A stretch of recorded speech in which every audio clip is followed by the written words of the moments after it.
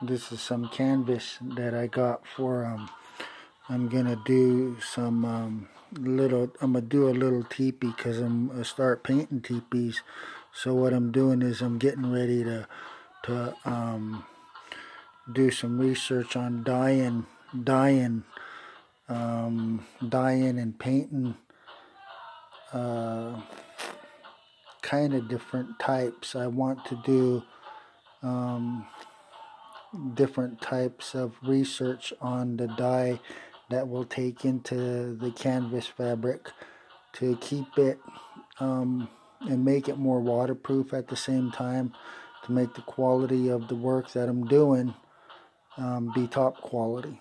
So in this research I'll probably end up making like about anywhere from oh probably five to ten small small teepees in different styles for um, different researches into the different designs from uh, um, for later into the to the big teepees that I'm gonna do.